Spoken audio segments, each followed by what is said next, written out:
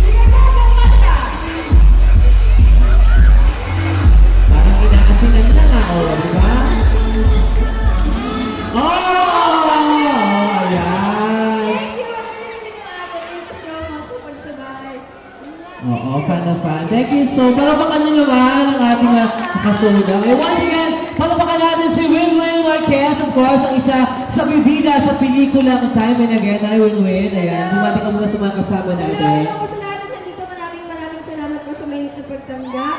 Thank you. Ate, ang galing mo sumayaw. Oo, you. kanina. Thank you, thank you. Ayun nga po.